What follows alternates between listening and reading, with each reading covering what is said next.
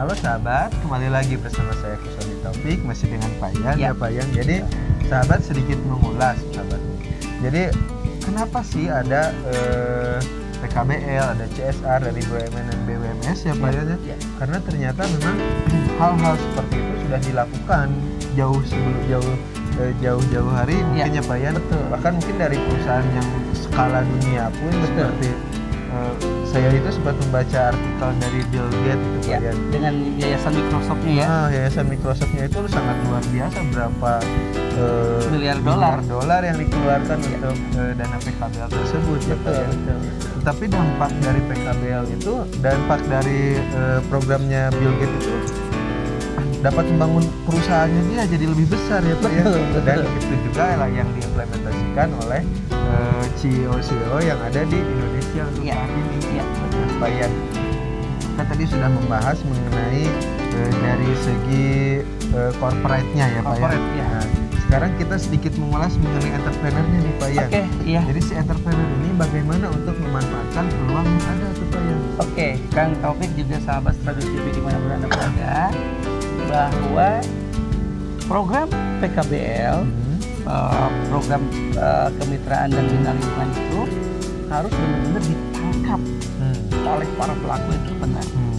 Untuk apa? Untuk da, untuk da, apa, bantuan dalam sisi permodalan kan, gitu ya. Tapi bedanya dengan perbankan apa? Ya, kalau perbankan mereka hanya sok mengucurkan dana, Hmm. ya modal kerja, pembiayaan modal kerja sudah sampai di situ titik. Hmm. Ya kenapa? Karena mereka kan berorientasi laba, ya berorientasi yang jelas eh, sejauh mana sih dananya itu terserap dalam program eh, permodalan pembiayaan modal kerja Hmm. itu toh.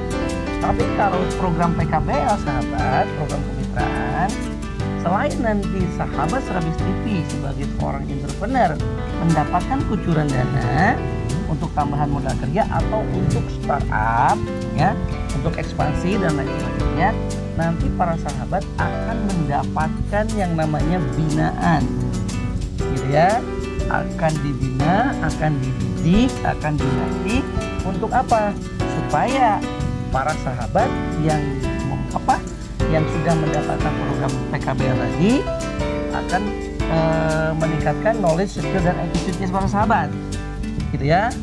Sehingga eh, para sahabat tidak ditinggalkan begitu saja. Hmm. kenapa sahabat? Karena dana PKBL yang dikucurkan oleh BUMN BUMN tadi gitu ya sifatnya adalah dana bergulir. Hmm.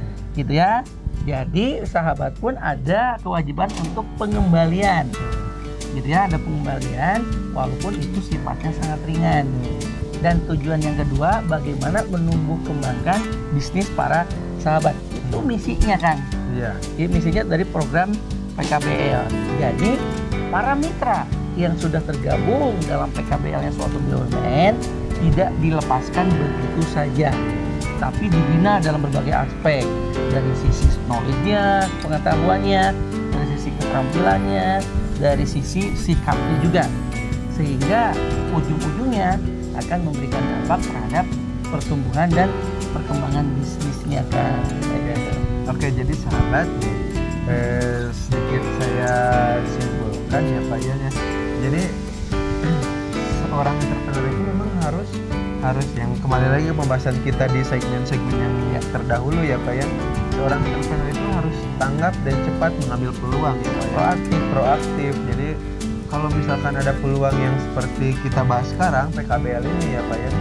Karena kan ini untuk membangun ya Pak Yan. Ya. Kalau misalkan kita usaha perlu modal itu ternyata ada alternatif lain selain dari perbankan ya Pak Yan. Ada namanya Ya. PKBL, program kemitraan bina lingkungan. Iya. Jadi untuk sahabat bisa langsung menghubungi ya Pak Yan BUMN Ya. yang ada di sekitarnya. betul. Karena memang di setiap BUMN yang saya tahu juga memang ada ya Pak Yan produk seperti itu. Ya. Dan dapat dimaksimalkan sahabat. betul.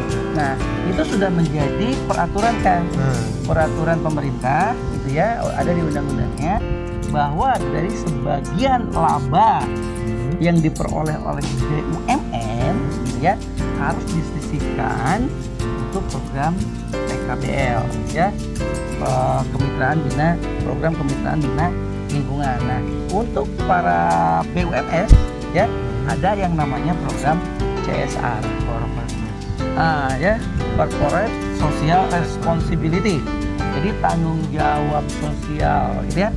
Tanggung jawab perusahaan terhadap uh, kemasyarakatan. Nah itu pada pada intinya sahabat gitu ya. Jadi uh, tangkaplah peluang ini gitu ya.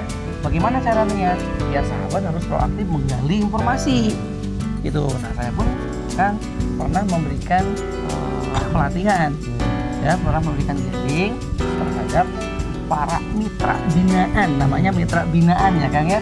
Para mitra binaan eh, programnya PKBA CSR BUMN gitu kan. Nah apa yang digali di sana yang digali di sana adalah bagaimana eh, mereka para mitra eh, apa berdiskusi dengan kami hmm. tentang masalah-masalah yang dihadapi kemudian dicarikan solusinya gitu ya tapi pada umumnya emang masalah yang klasik itu adalah di pemasaran Kang, hmm. di pemasaran dan di permodalan. Tapi dari sisi permodalan kan bisa di-cover dari program uh, pro program PKBL ini gitu ya. Di samping dari si program perbankan. Kayak gitu ya Kang ya. Oke, oke Pak Yan luar biasa sahabat. Eh, kita akan bahas lebih dalam lagi ya. nih Pak Yan di segmen selanjutnya ya Pak Yan ya. Karena kita sudah biasa di segmen ketiga pasti ada hal yang menarik gitu ya Pak Yan. Oke sahabat, jadi jangan ke mana-mana sahabat.